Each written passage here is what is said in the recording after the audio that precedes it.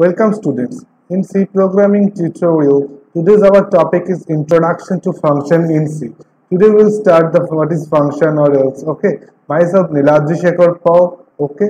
And you can email me at niladripl86 at the gmail.com or you can call me at 7980185831. Okay. Let's start the C function. Okay.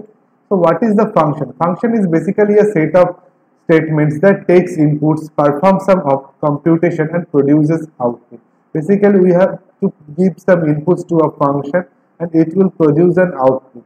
What is the syntax of the function? The function, the syntax of the function is return type, then space function name and within the bracket set of inputs. This set of inputs is optional. Okay, so return type basically why we use this return type? The type of output returned by the function. That means what are the values what type of values that may be int, float or char, what type of values the function return. Okay, the function name can be built by any variable, any characters. You cannot use starts the function name with the special symbols or any other digits. And the set of inputs, as I said earlier, this, this is an optional. Okay, that is basically inputs provided to the function. Suppose you want to add two number and you want to take that in uh, input of two numbers uh, to the user okay? So you have to put, pass these two inputs from the function okay? So this is an optional case. And why then come why we use the function? We basically use function for two causes. One is the reusability and the second one is abstraction. Reusability means once the function is defined it can be reused over and over again.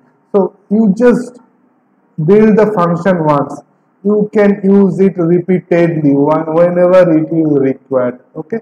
And what does this abstraction means? Abstraction means if you are just using the function in your program then you do not have to worry about how it works inside.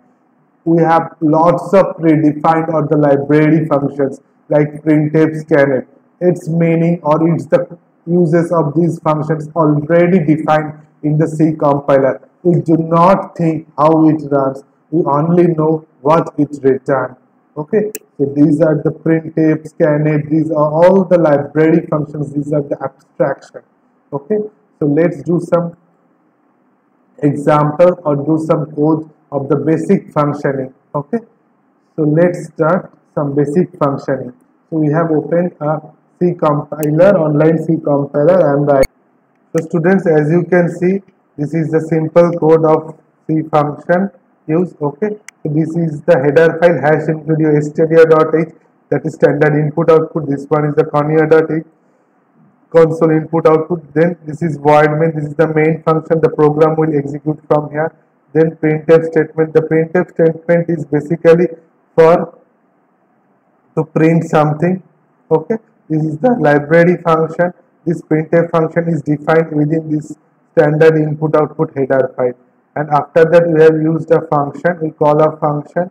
We cannot define a function within this main function because we cannot define a function within a function. And that is why we define this function outside this main function. What is the use of this function?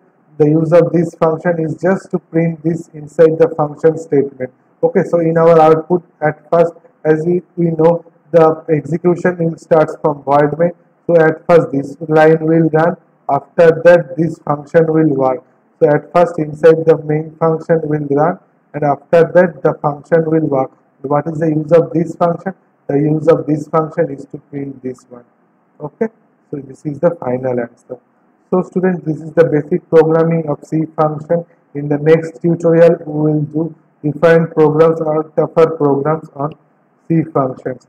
For that you can view my channels or you can contact me via email or you can call me.